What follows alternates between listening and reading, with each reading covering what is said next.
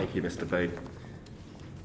There's no political divide, excuse me, there's no political divide in the desire to grapple with the perennial issue of childhood poverty and child hunger.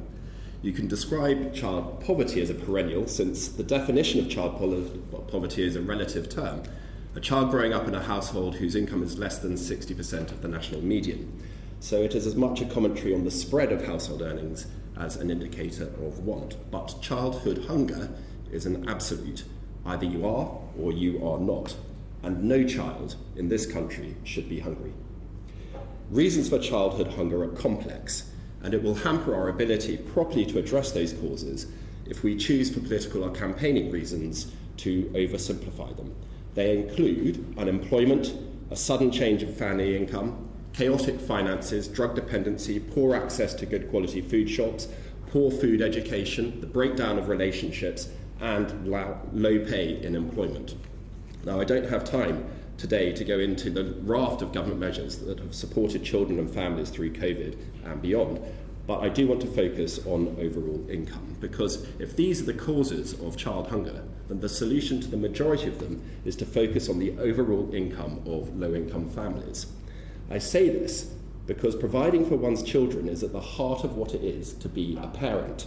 If the state takes responsibility away, it also takes away dignity and self reliance. It diminishes parenthood. As a parent myself, one of the key life lessons I try to give my own children is that of personal responsibility. And so we should be wary of intervening in such a way as to undermine the ability of parents to do the same storing up, as it will, trouble for the next generation of parents. So the government must make sure that employment truly is the answer to food insecurity.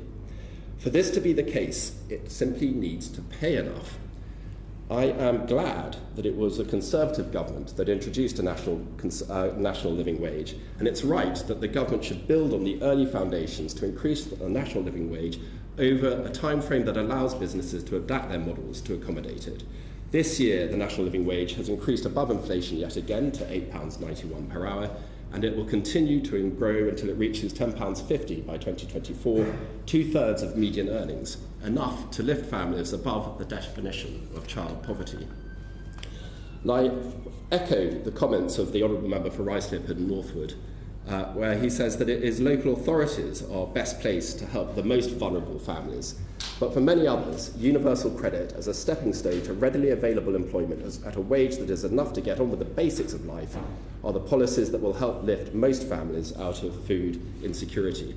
I look forward to publishing the, the publishing of the part two of the National Food Security paper, and I welcome the government's undertaking to produce a white paper within six weeks of its delivery.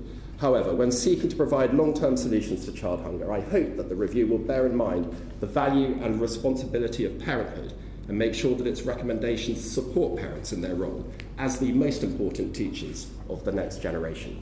Beth Winter.